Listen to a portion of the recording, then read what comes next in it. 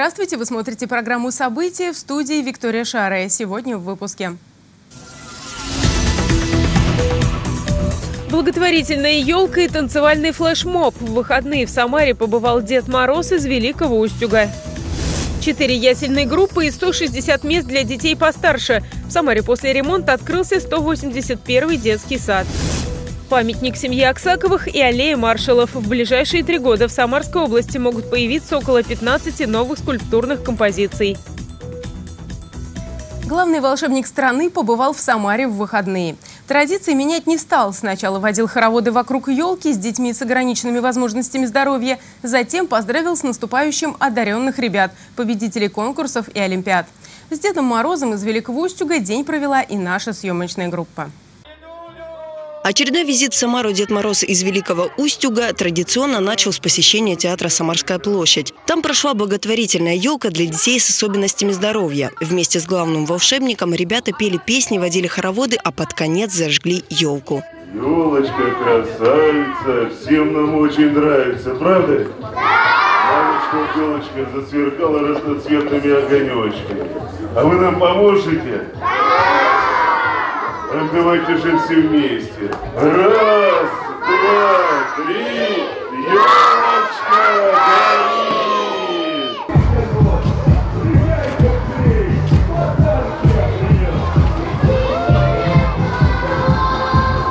Театра главный новогодний сказочный персонаж отправился в школу номер 132. Там его ждали одаренные ребята со всего города, победители и призеры областных олимпиад. Талантливые школьники провели для российского Деда Мороза танцевальный флешмоб. Давайте порадуем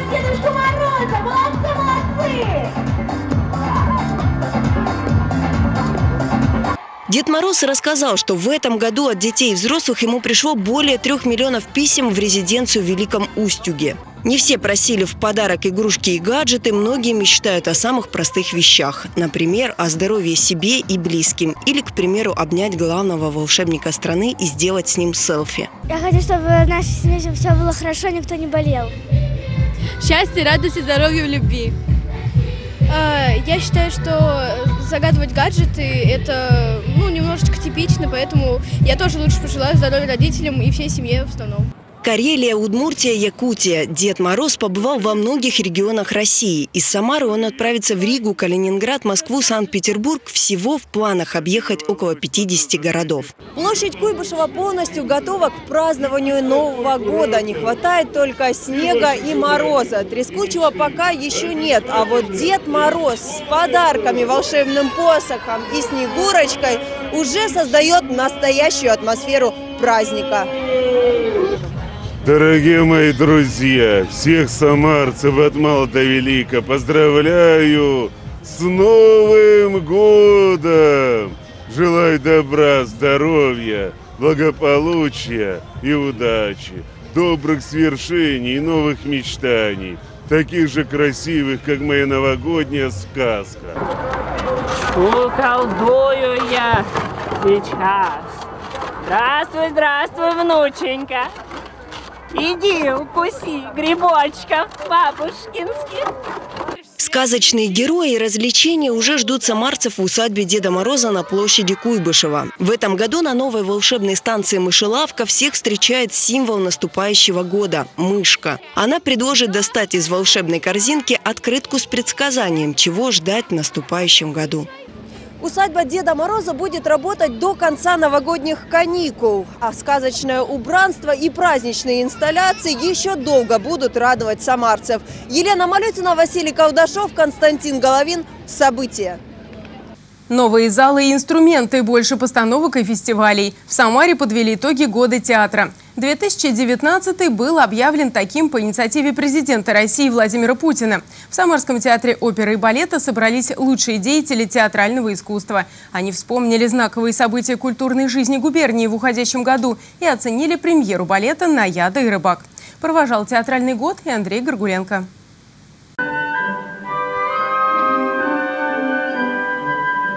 Премьера нового балета – эффектный способ закрыть год театра. Одноактная постановка «Наяда и рыбак», пусть и небольшая, и состоит в основном из сольных партий, по признанию балетмейстера Самарского оперного театра, стала надежным мостиком к следующим премьерам. Я как уже практик и балетмейстер, конечно, это новая работа для моих артистов. Это новая техника, это новое освоение чего-то неизведанного. И мне кажется, это все а, на пользу не только зрителям, но и, конечно, артистам. Премьера балета стала частью церемонии закрытия года театра. Губернатор Дмитрий Азаров наградил почетным знаком за труд во благо земли Самарской театральных деятелей, внесших наибольший вклад в работу по приобщению жителей Самарской области к искусству, а также вручил награды мэтрам театрального искусства. Мы надеялись, что этот год придаст новый импульс развития театрального искусства и, конечно, вызовет дополнительный интерес у зрителей. И знаете, нам это удалось. Конечно, в первую очередь благодаря блистательным трупам Самарской области, артистам и режиссерам, те, кто помогает, чтобы это действие состоялось, это и осветители, и работники сцены, это, конечно, замечательные музыканты. Очень много было работы, много на сцене было много, ну вот, и было много интересных проектов. Такой счастливый для меня год.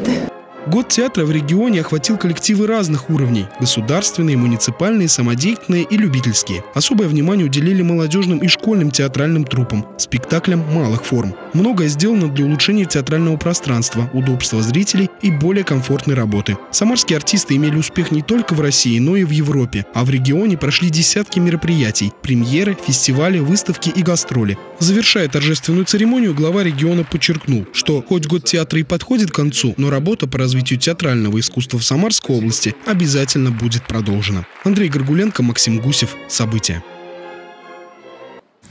Сенсорная комната с интерактивными досками и столами, акустическая система в музыкальном зале, уникальное оборудование в пищеблоке. В Самаре открылся детский сад, оснащенный по последнему слову техники, где работают не только группы для детей старше трех лет, но и ясли. Подробности у Елены Малютиной. Раньше не было этой такой красивой, мягкой такой зоны. Да, я вот девалов таких не да. видела раньше. Сухой бассейн. Тоже а почему шарик вставал? Или нет, или только должно быть? Мне кажется, это должно быть. Да? Ну так вот, чтобы детей не потерять в этом бассейне. Чтобы их можно было... Они маленькие, конечно.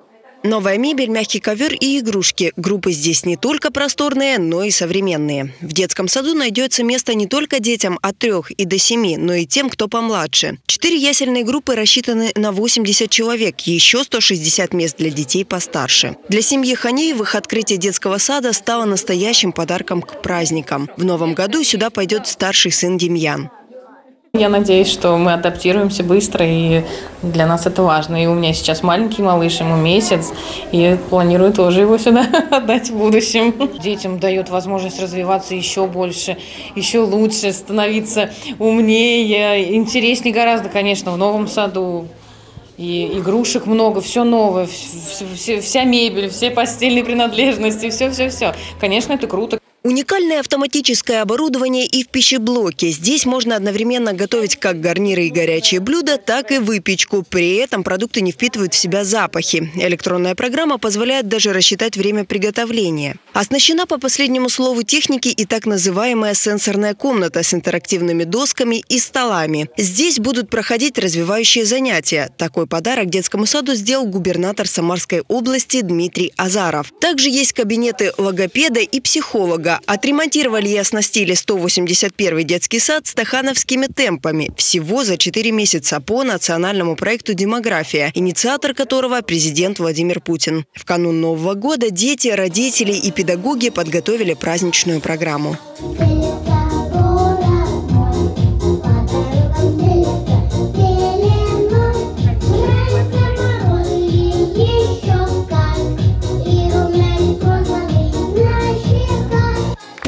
После исполнения песен и танцев они впервые в отремонтированном саду зажгли огни новогодней елки вместе с Дедом Морозом и Снегурочкой. А потом получили сладкие подарки от губернатора Самарской области Дмитрия Азарова. Поздравила малышей и их родителей с открытием детского сада и с наступающим Новым годом глава города Елена Лапушкина. Дорогие мои маленькие самарцы, дорогие родители, пожелать нам всем мирного неба, чтобы наши дети росли в мирной и сильной стране в чистом, уютном, комфортном городе. Чтобы они были счастливы и здоровы, чтобы они были вашей надеждой и опорой. Ну а вам, конечно, не останавливаться на достигнутом. Детские сады мы будем открывать. С наступающим вас! Многие годы в этом здании размещались социальные и образовательные учреждения. В 2019 году помещение было передано дошкольному учреждению. Теперь здесь трудится более 100 профессионалов своего дела. В своей работе они используют новейшие технологии. Современная пианино, современная акустическая система нам подарила как раз глава города Елена Владимировна. Мы об этом мечтали. Честно говоря, наш музыкальный руководитель для интересного проведения интересных занятий на улице. С удовольствием тоже участвуют родители и дети. А ребенок всегда очень чувствует, когда вместе с ним родители. И им очень приятно, и у него такой азарт появляется, как бы интересно проходит занятия, все довольны. В новом году продолжится комплектация групп. В детский сад пойдут 240 малышей. Елена Малютина, Константин Головин. События. Проверить все елочные базары поручила глава города Елена Лапушкина руководителям районных администраций и муниципальному предприятию ярмарки Самары. Торговля новогодними деревьями в городе должна вестись только в разрешенных местах. Сами пункты продажи должны быть оборудованы соответствующим образом. Все нелегальные базары в ближайшее время уберут. Также глава города поручила руководителю городской административной технической инспекции проверить сроки выполнения восстановительных работ по благоустройству после ремонта труб. Привести в порядок все участки подрядчики должны до конца недели. Руководителю департамента городского хозяйства и директору муниципального предприятия благоустройства Елена Лапушкина поручила усилить работу по уборке тротуаров. Тротуары безобразные. Ходить по ним невозможно. Наводите порядок. В первую очередь отрабатывайте больницы, школы, детские сады, социальные какие-то учреждения, остановки общественного транспорта. Памятник семье Аксаковых и аллея маршалов. В ближайшие три года в Самарской области могут установить несколько новых скульптурных композиций. Как будут выглядеть арт-объекты, расскажет наш корреспондент Анатолий Головко. Памятники Валерию Грушину и Константину Головкину. Арт-объекты Тёма и Жучка и Самарский баян. До 2022 года в Самарской области могут установить 15 скульптурных композиций. Эти и другие вопросы стали предметом бурного обсуждения рабочей группы по рассмотрению общественных инициатив. Губернатор Дмитрий Азаров предложил поддержать установку памятников по проекту содействия. Мы можем их посмотреть предварительно. Если здесь на рабочей группе мы их поддержим, то, наверное, инициативной группе мы можем посоветовать э, с точки зрения дополнительного софинансирования э, через этот проект э, отработать. Уже в 2020 году в Южном городе может появиться памятник семье, который хотят разместить в прогулочной зоне микрорайона. Участники совещания от идеи не отказались, но предложили авторам доработать концепцию. А депутат Госдумы Александр Хинштейн поддержал другую инициативу – увековечить в Южном городе героев Тимуровского движения. Таких памятников в стране нет. Тимуровское движение, повторяю вновь, зародилось именно в Куйбышеве, в Куйбышевской области. И учитывая перспективы, которые были озвучены в последнее время, есть все шансы того, что Южный город зайдет в состав Куйбышевского района, где, собственно, съемки этого фильма и происходили. Еще одно интересное предложение – памятник семье Аксаковых, идеи установки которого обсуждают на протяжении 10 лет. В настоящий момент готов эскиз, найдены средства для установки. Его планируют разместить в границах улиц Красноармейской и Фрунзе в сквере Аксакова. Не менее жаркое обсуждение вызвала тема аллеи маршалов, которую хотят создать в год памяти и славы. На ней должны установить бюсты шести выдающихся маршалов Советского Союза. Одно из мест для размещения, которое предложили участники заседания – Площадь Славы. Анатолий Головко, Дмитрий Мешканцов. События. Судьбу областной столицы обсудили глава города Елена Лапушкина и председатель Гордума Алексей Дегтев с почетными гражданами Самары. Эти люди уже доказали своим примером, как нужно любить свой город и работать ему во благо. Именно они строили новый Куйбышев после Великой Отечественной войны. Виталий Алексеевич Симонов на протяжении 10 лет возглавлял 11-й строительно-монтажный трест. Под его руководством появились многие улицы и проспекты. Геннадий Петрович Аншаков прошел путь от конструктора первой категории до генерального конструктора конструктора прогресса, став достойным продолжателем дела своего выдающегося учителя Дмитрия Ильича Козлова. За более чем полувековую деятельность в отечественной ракетно-космической отрасли Геннадий Петрович внес выдающийся вклад в выполнение космических государственных программ, укрепление обороноспособности и экономики страны. Николай Пантелеевич Фоменко, участник Великой Отечественной войны, почетный радист, мастер связи, бывший президент одной из самарских телерадиокомпаний. Награжден орденом Отечественной войны второй степени. Глава города Елена Лапушкина говорит, получить отдельные советы от таких людей крайне важно и полезно. находясь рядом с ними, не просто много мучишься, несмотря на их опыт, на их мудрость, на их отношение к жизни, всегда позитивно, несмотря на погоду, несмотря на сложности, они всегда радуются тому, что происходит. Они всегда грамотно и по-доброму оценивают происходящие изменения. Вот они посоветовали, ты понимаешь, что это вот по, по сути руководство к действию. А сейчас коротко о других темах дня. Сегодня утром в Самаре произошло ЧП. В доме номер 8 по улице Чернореченской отравилась угарным газом семья из четырех человек. Трагедия произошла из-за неисправной вытяжки. В квартире находились мужчина, женщина и двое детей 7 и 2 лет. Пострадавшие доставлены в больницу. Сейчас их состояние оценивается как средней степени тяжести. Угрозы для жизни нет. В воскресенье 22 декабря рейс авиакомпании «Азур Эйр» в Объединенные Арабские Эмираты не смог вылететь из Курумыча по расписанию. Задержка составила более 10 часов. О причинах инцидента рассказали в Куйбышевской транспортной прокуратуре. Самолет Самара-Дубай должен был вылететь в 8.25 по местному времени. На рейс зарегистрировались 237 пассажиров. Из них 12 детей в возрасте до 12 лет. Рейс отменили по причине технической неисправности судна. Пассажирам предоставили напитки и питание желающих разместили в гостинице. Жалоб от граждан не поступало. Крупный пожар тушили сегодня в Сызране. Возгорание произошло в районе восточной промышленной зоны города. В 11 часу утра загорелась производственная территория завода железобетонных конструкций и строительных деталей. По предварительным данным, площадь возгорания составила десятки квадратных метров. Не исключено, что причиной ЧП могли стать сварочные работы в одном из цехов. Кроме того, были эвакуированы несколько десятков человек.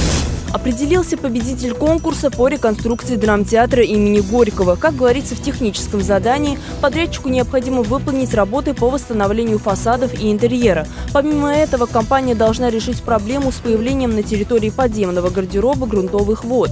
Не останутся без внимания и маломобильные горожане. Для них подрядчик сделает специальный лифт. Отметим, что на участие в торгах была подана одна заявка. Стоимость проекта оценивается в 62 миллиона рублей. Компания должна будет сдать проект до 20 января 2021 года.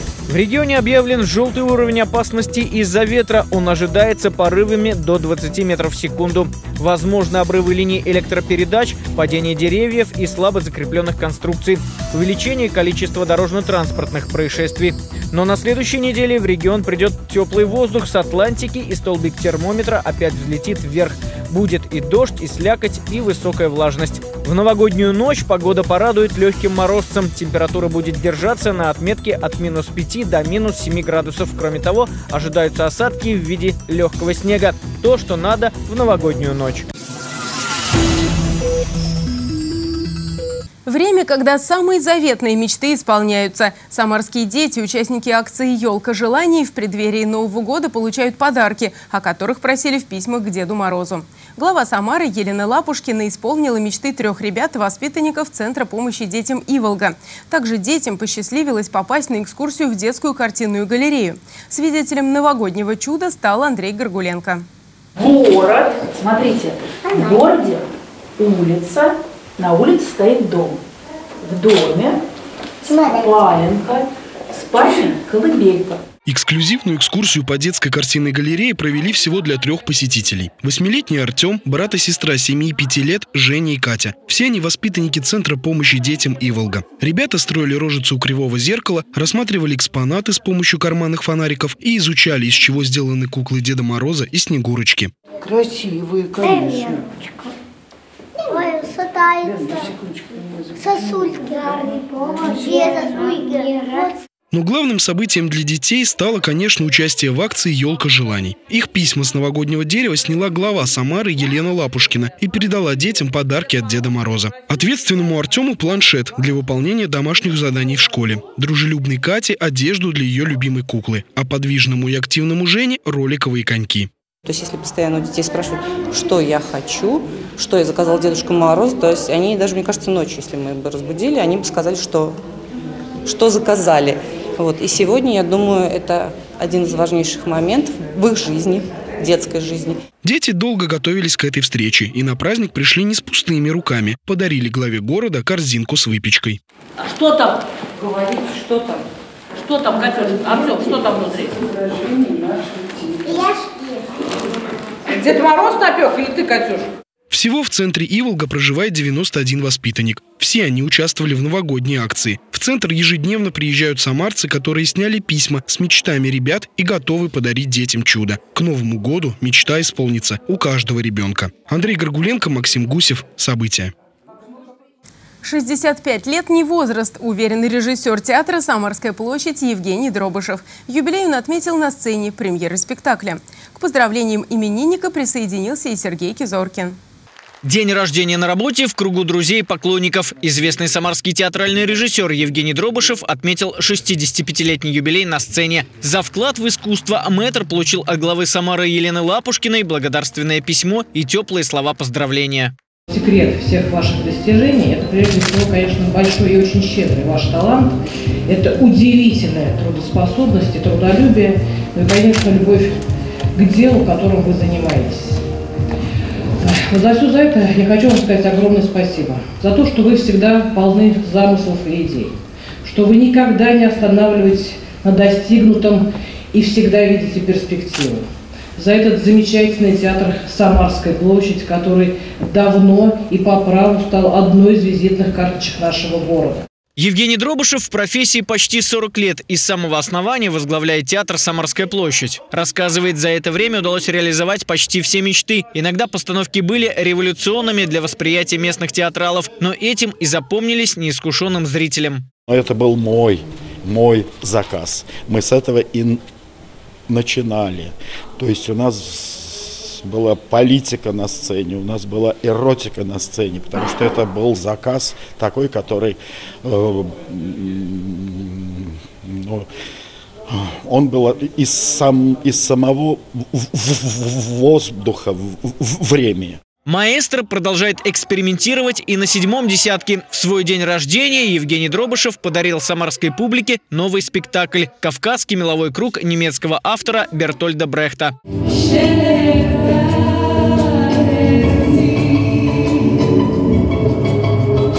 Сергей Кизоркин, Григорий Плешаков. События.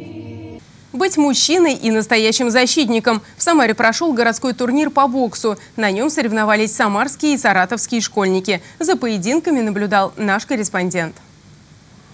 Третьеклассник Олег Иевлев боксирует сдержанно, четко держит оборону. Его противник торопится, наносит удар за ударом, но все мимо.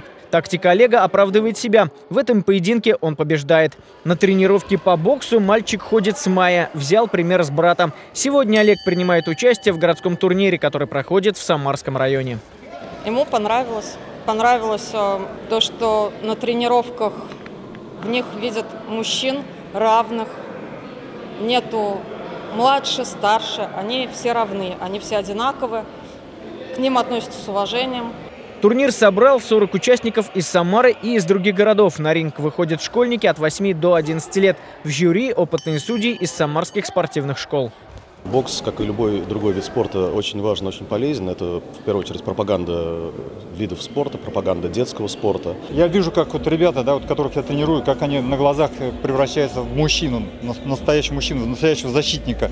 Так сказать, мы же не только воспитываем спортсменов, но мы хотим, чтобы у нас были настоящие защитники Родины. Организаторы турнира по боксу планируют сделать такие соревнования ежегодными и приглашать спортсменов из других регионов. Сергей Кизоркин, Семен Безгинов, Григорий Плешаков. События.